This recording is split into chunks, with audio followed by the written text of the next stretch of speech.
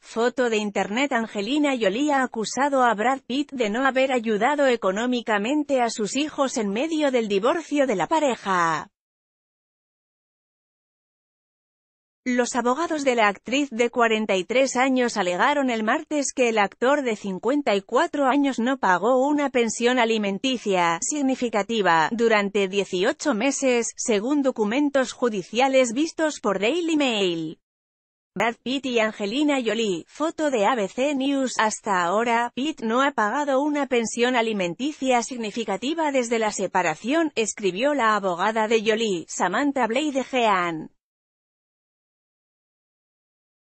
La actriz y directora alegó que su tercer marido no ha cumplido con sus obligaciones financieras y ha exigido que la corte lo obligue a pagar, dado que los arreglos informales en torno al pago de los gastos de los niños no han sido sostenidos regularmente por Pitt durante más de un año y medio. Jolie tiene la intención de presentar una RFO para el establecimiento de una orden retroactiva de manutención de los hijos, dice.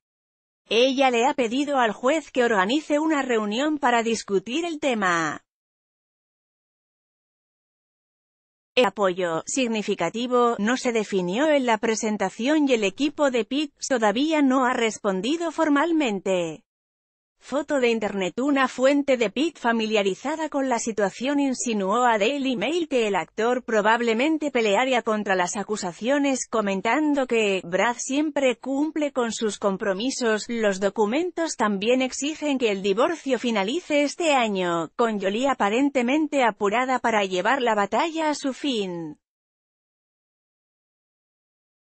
El valor neto de Jolie se ha estimado en 160 millones de dólares, de acuerdo con Celebrity Net Worth y en 2014, fue clasificada como la 74 celebridad con mayores ingresos por Forbes.